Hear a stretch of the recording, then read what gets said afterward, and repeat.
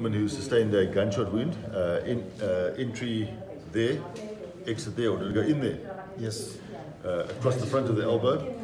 And uh, luckily he hasn't damaged his artery. You must always feel for the artery. So remember in orthopedics it's look, feel, move.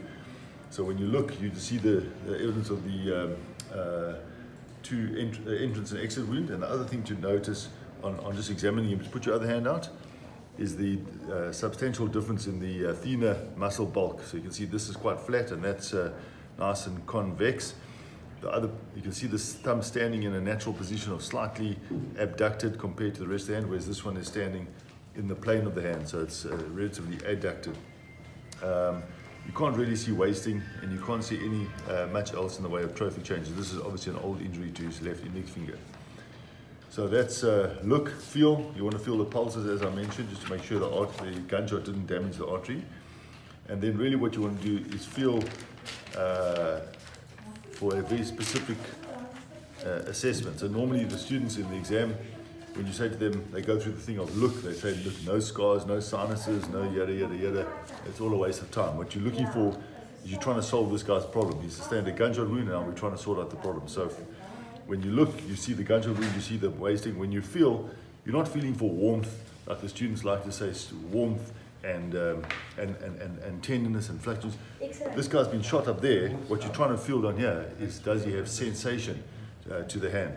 And what is the, the, the ge uh, geographical distribution of the lack of sensation? Can you feel there? Yes. Just say loudly. Say it again. You can feel? Yes. Yes. Can you feel there? No, that one is very slow. It's, it's ab abnormal sensation. It's a very important point for the students. If you ask the patient whether they can feel, they'll often say to you, yes, they can feel but you must then compare it to the other side. So is this the same as that? No, it's not Very different, eh? Is this the same as this? No, it's not. Very different. And, and this the same as this? Yeah, the same. Okay, and if you turn over, that's the same as that, eh? Yes, the same. And over there, the same as that? No, There and there. Not, the same. Not the same, eh? So he seems to have some radial sensory deficit as well. We'll come back to that in a second. So that's look and feel. That's really all you want to feel for, except for the pulses as we've done already. And now we want to move. So first is ac uh, active motion, to make a fist. You can see the classic benediction sign, also called the gun sign. That is because this FDP is applied by the ulnar nerve, this FDP is applied by the ulnar nerve, and these fingers can pull in. Because all the FDPs are joined together in one muscle bulk, this one invariably gets pulled in as well. Um, but this one is often a separate muscle belly and therefore doesn't get pulled in. So that's the classic muscle sign. So when you examine him closely, you'll realize he's got no FPL, bend there. You can't bend the FPL. He does not have an FDP to the index finger, bend, nothing. He does not have, relax a second. He does not have an FDP to the middle finger, bend.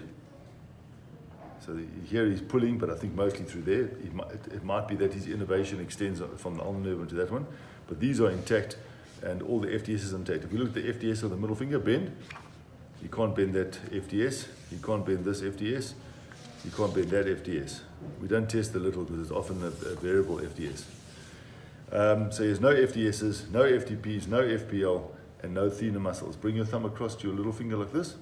You cannot oppose his thumb. You cannot abduct. Complete wasting. Uh, he complained of some radial sensory deficit. So let's just see. Lift up your wrist and lift up your fingers. Lift up your thumb. Doesn't seem to have any radial uh, motor deficit. So this is a classic high median nerve palsy with the classic uh, benediction sign or trigger sign or pointing sign.